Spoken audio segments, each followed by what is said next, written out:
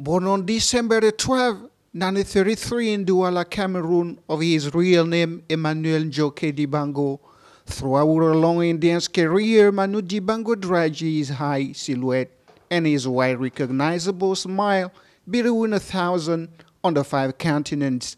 It is in Europe that he put down his suitcases setting in France from 1949. Arrived in Marseille in 1949 as a teenager, made Chevalier de la Légion d'honneur in 2010, the Cameroonian artist was still in a very good shape. On tour last year for his 60 years of career with his symphonic safari combining jazz and classical music, Manu Dibango was a giant in size and talent, but also in kindness with a communicative enthusiasm.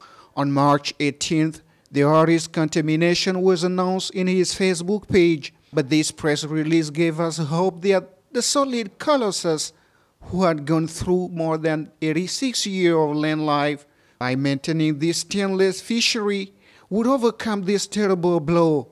It has not been the case.